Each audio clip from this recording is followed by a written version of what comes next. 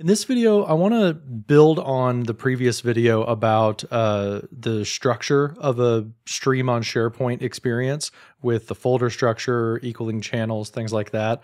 And I want to actually build out a matching channel structure in a sample site to match what I had in Stream Classic before. So to jump right in, if we go back a little bit of, of review, we've got the Stream Classic organizational structure at a high, broad level is you've got groups and you've got your user account. Inside the groups, you have one or more channels and you store your videos inside those channels. The channels are inside the group. The group is the parent of the uh, channel. And then the user account, that's pretty flat. You're just storing videos in your user account and sharing them as needed. If we fast forward over to the SharePoint side of things, it's a very similar structure, right? So we've got a site and we've got folders on a site that represent our channels. And then we're going to put our videos in those folders. The folders live on sites. And then at the uh, the user level, we've got OneDrive with videos inside of OneDrive. So that's a quick review of um, the structural elements, right? Now, what I want to do is I want to duplicate or do what I'm calling a self migration from Stream Classic to Stream on SharePoint. So I'm on the uh, Contoso Stream website. Megan Bowen is logged in into Contoso. And the way that she's going to find where her stuff is, is she is used to having channels, right? She had all of these channels in a group for Office 365 adoption. So she could go from my content right here, she could go to either groups or to channels. I'm going to go to channels because I think most people are familiar more with channels, which is just a subfolder of a group. So I've got three channels right here with eight videos, two videos, and 19 videos, right? Um, they're all in the group called Office 365 Adoption. That is the, gr- the group, the overall container with three folders in it that are channels. So inside each, each of these, I've got a bunch of videos. We'll just open up Teams Tip Tuesday, and we can see there's all the videos that make up Teams Tip Tuesday, and it is in the group Office 365 Adoption. So I'm going to click on that to take us to the group's landing page. So remember, this is a Microsoft 365 group. So there's a mailbox for it, there's the stream video portal, and then there's a, SharePoint site. So there already exists a SharePoint site for this particular group. You can see that where it says M365. That means that it's a Microsoft 365 group and it has all of those things. If I go to channels, there's those three channels. So the first question is how do I find the SharePoint site for this particular group? Well, that's pretty easy. We're just going to search for that over on the SharePoint uh, Office.com website. So we're going to open up, up a new um, a new tab, and we're going to go to Office.com. And then I could search up here at the top, or I could go in the waffle. I could go over here to SharePoint and search SharePoint. I'm just going to type it right here. So Office 365 adoption. And you see that like that site already comes up because there's a, a match. If you don't see your site right away, then you can click show more results right here. And then you can filter by just the sites. And there's that Office 365 adoption. You can see it's got that same little icon that I had over on the Stream website. So we're going to open this up. And I've already got this built out just a little bit. It's a, a pretty vanilla SharePoint site, but I added some things to my homepage. So say I've got a featured video up at the top. This is a text web part, a button web part, more text down here.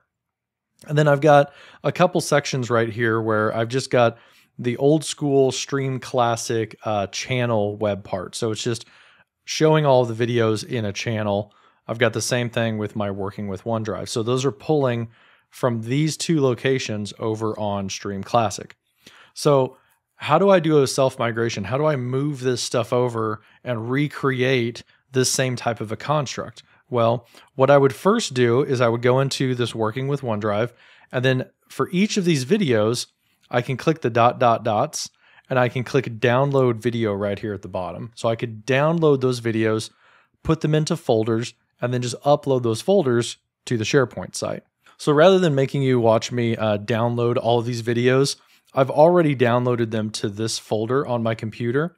So you've got live events, Teams Tip Tuesday, and working with OneDrive. I've got all the videos. I shortened them down a lot too, so they'll upload very quickly for us, uh, just for demo purposes. So I've got that folder structure. And then back on the SharePoint, I've got the default documents library. Every SharePoint is going to have that, that little link called documents. So we're going to go in there and we see that our documents is empty. Now, this is very simple. All I have to do is select those three folders that I want and I can drag them onto the SharePoint browser uh, website and it's uploading those documents right now. So I'm uploading 23 videos. They're only 46 meg, so it's going pretty quickly. But it's uploading all of them into that folder structure that I already set up on my computer earlier. So after a few moments, I've got all of these things uploaded, and you can see that in these folders, I've got all of the videos. Now, this extra DS store thing, that's because I'm on a Mac, so that's a, uh, a hidden file. I'm just going to go ahead and clean that up and delete that out of that folder, and I'll do that out of the other two folders. So that one's missing. Live events, there's that extra DS store. So we're going to delete that. And then working with OneDrive, we're going to delete that DS store. So just like that. So now I've got a folder structure with videos inside of it. Let's go back over here to PowerPoint and I've got folder A, folder B, and I've got a third folder, right? So Teams Tip Tuesday, working with OneDrive, and then live events. They're in the SharePoint site called Office 365 Adoption. And now, how do I present these? So I could share these videos individually if I wanted to. I could just simply get a link to them and share them as needed. Or I could give people access to the entire folder and say, there you go, there's the videos. Great, go on. But I kind of want to display these a little bit nicer than what I have with just a typical folder with files in it. These videos, they deserve to be presented in a nicer fashion. So I'm going to go back to my homepage and I had these channels right here inside of Stream on uh, Stream Classic.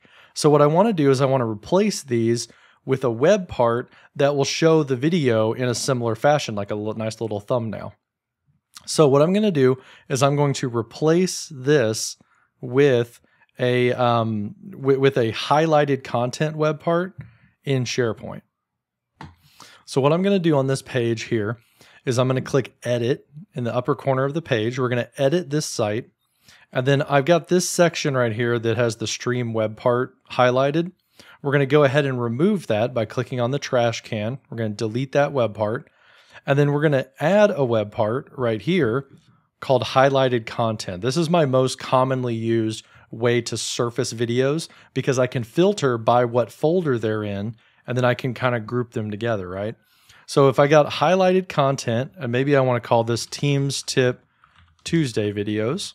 So I give it a title, then I click the little pencil to open up the um, the way that I want to filter this. So I can surface up just all of the videos on this entire website if I want to by clicking this site and then videos right here.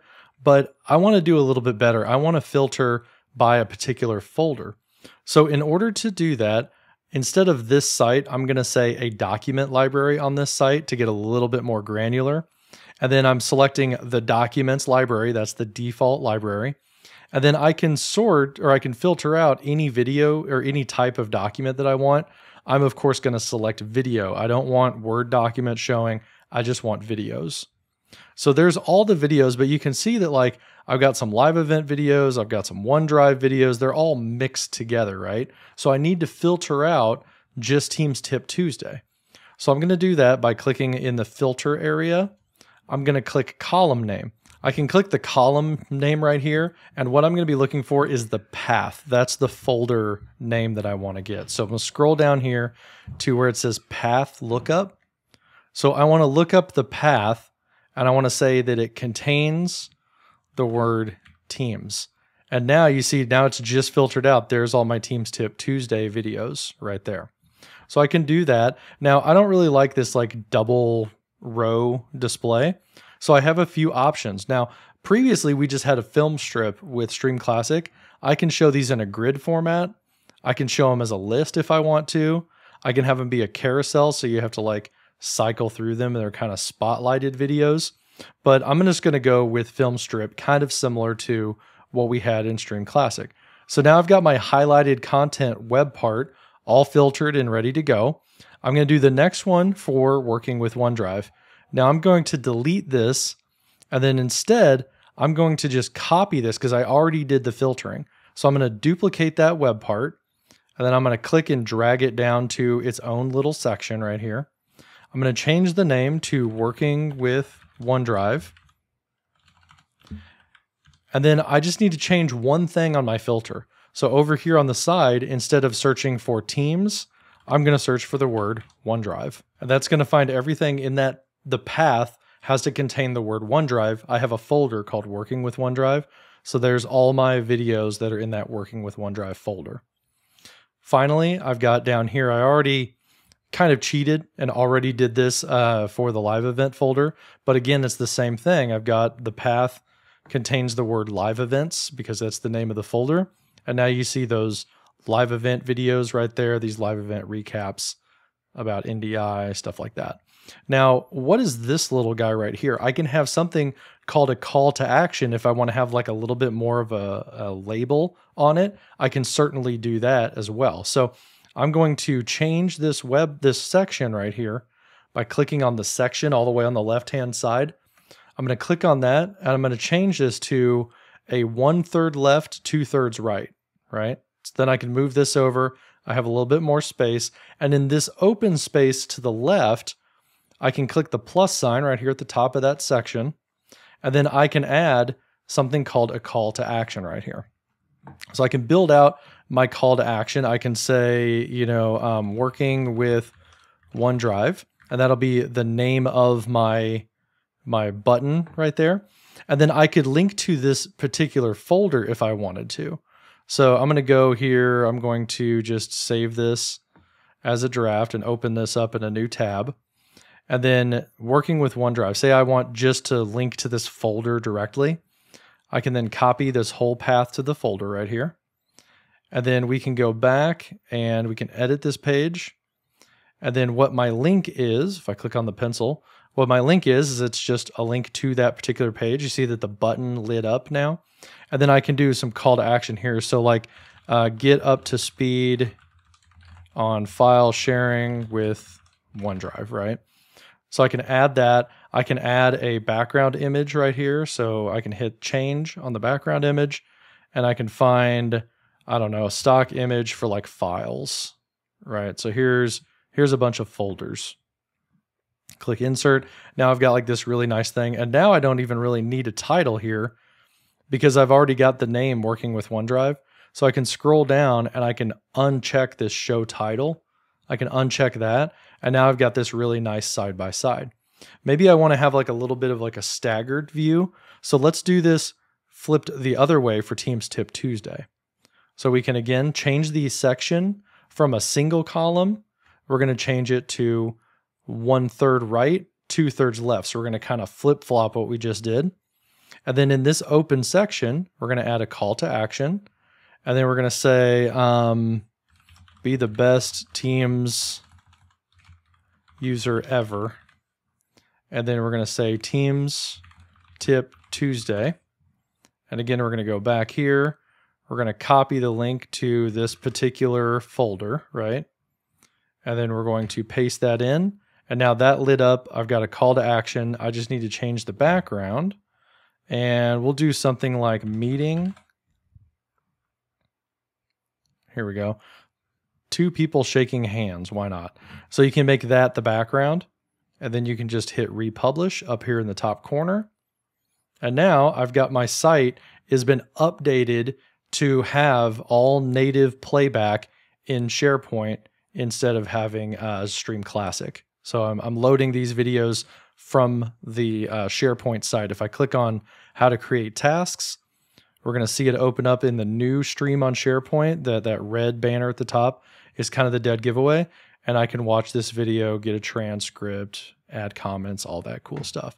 So pretty basic video, um, organizing your videos into folders on a SharePoint site, and then surfacing those folders uh, as web parts where you can filter by the actual folder that you want. And we've recreated this the uh, concept of channels in the new stream on SharePoint with a lot more flexibility. I hope that helps. Leave a comment if you have any questions below, and uh, thanks for watching.